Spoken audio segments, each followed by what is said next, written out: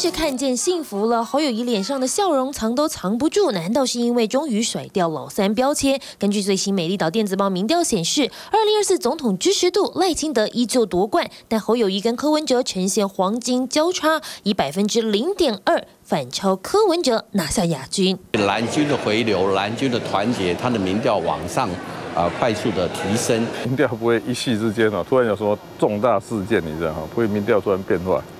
那这就这样了，一样选举到的话，各民调就开始操纵。不过这样呢，媒体掌握在别人手中嘛，哦，他怎么制作，我也没办法。隔着镜头，似乎都感觉到柯文哲的忧心，因为另一份风采民调发现，从七月十六到八月十九这一个月来，两个对手二十到二十九岁的年轻支持度都增加，唯独柯文哲下滑了七点七个百分点，被联想，难道是跟这个有关系？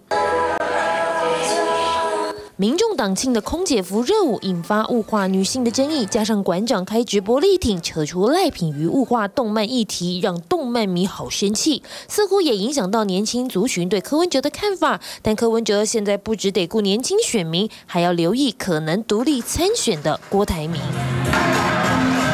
选总统始终没有松口，但动作越来越大。只是根据风采民调调查发现，撒卡豆的状态赖科差距百分之十以内。一旦郭台铭参战，三元里对侯友谊影响最小，郭台铭也只拿第四名。反观赖清德还有三成以上的支持度，换言之，剩下三个和尚没水喝。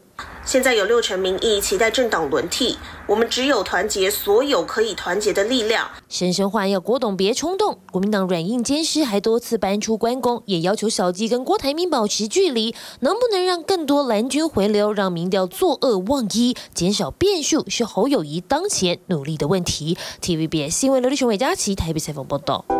想看最完整的新闻内容，记得下载 TVBS 新闻网 APP。